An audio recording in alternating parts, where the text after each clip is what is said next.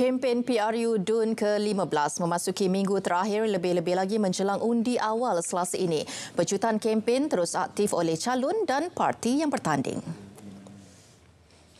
Di Pulau Pinang, calon PH DUN Seberang Jaya Johari Kasim mengakui menerima respon positif dalam kalangan penduduk.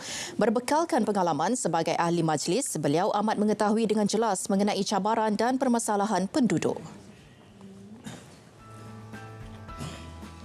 Di Negeri Sembilan, para pengundi mula memahami kerjasama gabungan politik menerusi kerajaan perpaduan. Menurut calon PH Dun Pilah, Zunita Begum, beliau yang juga merupakan calon muka baharu memilih untuk melaksanakan kaedah kempen rumah ke rumah agar lebih mudah untuk memberikan pendedahan kepada pengundi khususnya warga emas. Sektor pelancongan menjadi tumpuan penyandang kerusi Dun Tanjung Sepat. Calon PH Borhan Aman Shah berkata usaha melonjak potensi pelancongan itu akan diberi tumpuan di pantai Batu Laut. Begitu juga mengetengahkan produk IKS seperti kopi, kerepek dan tempe bagi meningkatkan pendapatan peniaga.